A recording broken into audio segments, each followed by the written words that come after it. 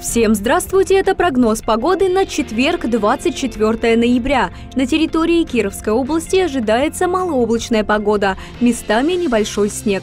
В Кирсе днем обещают минус 12 градусов, в Вятских полянах, Уржуме и Котельниче минус 8, в Лузе и Налинске минус 10, в Слободском и Иранске 9 градусов со знаком минус. Кирове в четверг обещают пасмурную погоду. Минус 9, минус 8 градусов днем, минус 12 ночью. Атмосферное давление составит 754 миллиметра ртутного столба. Относительная влажность воздуха 76%. Ветер северо-восточный до 4 метров в секунду. Световой день продлится 7 часов 15 минут. Ожидается новолуние. Это был прогноз погоды на четверг, 24 ноября.